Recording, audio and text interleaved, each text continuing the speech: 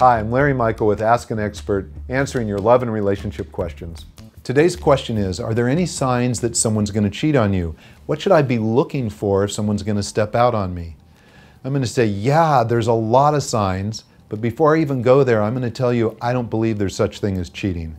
In fact, there is no such thing as cheating, and this is why.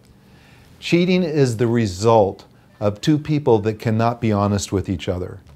And if you're really looking for a sign, the sign is that you can't communicate, you can't be vulnerable, you can't have an honest, open conversation with your partner. Because cheating only happens when you do not have the ability to be totally honest and open and willing to put it out there and risk the quality of the relationship for even possibly something better. So, cheating I mean, if you're in the cheating mode, then you're in the mode of someone that likes to keep secrets, that thinks it's okay to be maybe a little dishonest, that maybe rationally you can rationalize or actually tell a rational lie and think that's okay. No, it's not. The signs are if you are holding something inside, look for the cheating to happen because you're already concealing.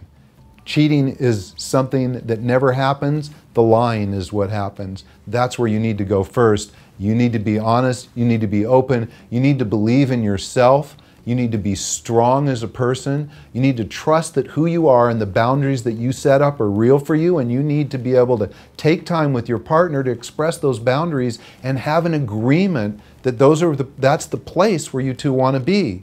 If you have that and you trust each other, cheating is never an issue.